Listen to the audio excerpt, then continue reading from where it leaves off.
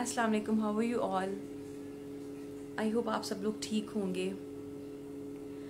इस तरह नहीं लग रहा कि there is some war going on in the air and we we all are helpless in the hands of fate and circumstances however we can do one thing हम एक चीज़ ज़रूर कर सकते हैं कि हम सबको we all should strictly follow the rules impose by our state और वो ये है कि हम सबने घर में रहना है। We all should stay at home ताकि हम लोग सेफ़ रह सकें, हम अपनी फैमिली को सेव कर सकें, अपने बुज़ुर्गों को बचा सकें। और इसी तरह ही हम इस, ये जो पेंडेमिक कोरोना वायरस है, इससे हम लड़ सकते हैं। ये जो एक जंग चल रही है पूरी दुनिया में, हम इससे जीत सकते हैं।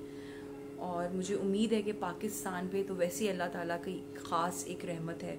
अल्लाह ताला हम पाकिस्तानियों को और तमाम दुनिया के मुसलमानों को इस पेंडेमिक कोरोना वायरस से बचाए।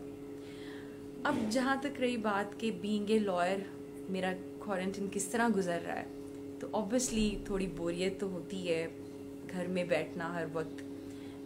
इट्स अ बिग चेंज लेकिन मैं पर्सनली अपना एक्सपीरियंस बताऊँगी कि मैं uh, अपने क्वारंटीन को इन्जॉय भी कर रही हूँ। इस तरह कि मैं अपनी जो मेरी फैमिली के साथ मेरी बॉन्डिंग है वो बहुत ज़्यादा स्ट्रॉन्ग हो गई है अलहमदिल्ला बच्चों के साथ टाइम घर में और मिल के सब कुछ बनाना, सब कुछ करना सबकी ड्यूटीज़ को इम्पोज किया हुआ है।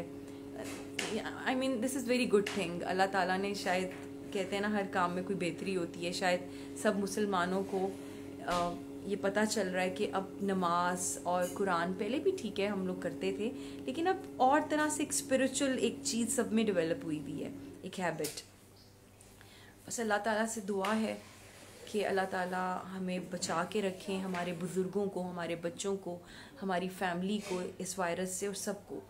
और आखिर में एट द एंड में सिर्फ़ इतना कहूँगी कि प्लीज़ घर बैठें प्लीज़ घर बैठ के इस जंग से लड़ें और बाहर नहीं निकलना और जो गवर्नमेंट जो स्टेट कह रही है उसकी बात माने, क्योंकि वो हम सबकी भलाई के लिए। Thank you so much